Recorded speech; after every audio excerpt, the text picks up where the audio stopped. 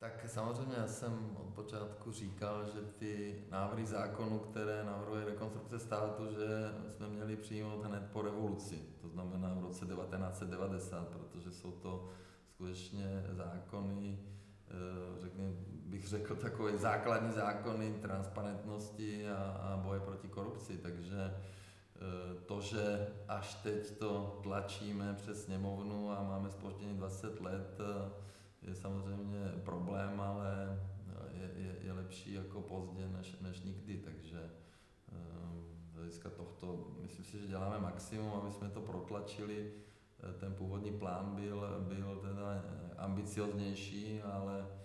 samozřejmě v rámci koalice to taky jako není lehký se domluvit a na všech těch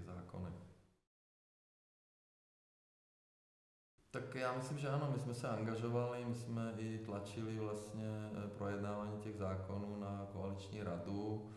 a snažíme se prosazovat ty zákony. My jsme to samozřejmě podepisovali před eh, parlamentními volbami, tam nebyl úplně znám ten obsah, tak možná jsme měli jiný názor na ten zákon o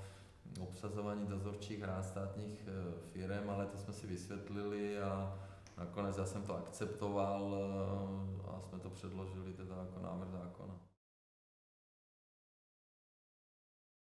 Samozřejmě ten zákon o financování politických stran, můžeme si říct otevřeně, že to vlastně naši koaliční partneři vlastně navrhovali způsobem, který byl šitý proti, proti hnutí ANO, které eh, si myslím, že je financováno velice transparentně a eh, samozřejmě já osobně financuju to hnutí, takže ty návrhy tam spíš směrovaly na, na omezení našich finančních možností, ale víceméně nakonec jsme to akceptovali, ale trvalo dlouho, než to ministerstvo vnitra vlastně dalo na stůl ten návrh zákona. No to zboždění tím, že jsem měl na to jiný názor, protože já samozřejmě jsem z biznisu a, a mám 300 firm a nikdy nemyslel, že by jsem měl obsazovat ty firmy e, formou zákona. Já se striktně držím toho, že jsem do e, těch státních firm, které mám v kompetenci, nežal, nedal žádného politika,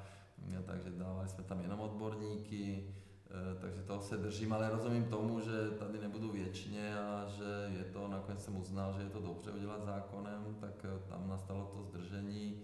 Eh, teďka je to vlastně na třetí komisi v legislativní rady vlády a určitě to budeme tlačit dopředu.